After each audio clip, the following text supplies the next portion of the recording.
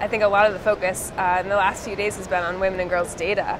And a lot of new commitments have been made towards closing that gender data gap. Is that exciting to you from an education perspective? And, and how might that help you in your work? Uh, yeah, it is the focus on data. I know it kind of sounds odd, and maybe many people watching would think, why would anybody get that excited about data?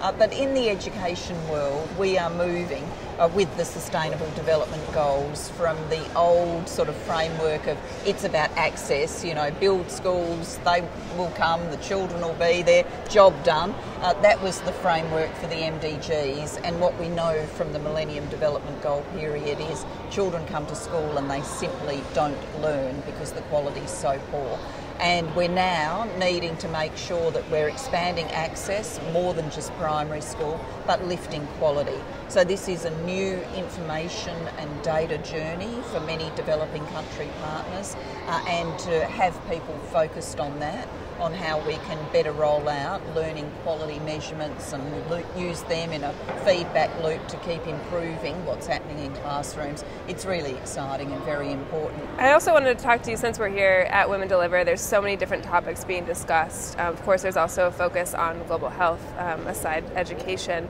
and they're so interconnected. You know, stopping epidemics like AIDS is so interconnected with you know educating uh, women and girls about about the the health effects and, and, and avoiding AIDS. Um, are, are those two communities speaking enough, do you think? Are they working closely together, That those fighting for you know, improved education and those fighting for improved global health? Is there, is there a, you know, that cross-sector collaboration that you'd want to see there?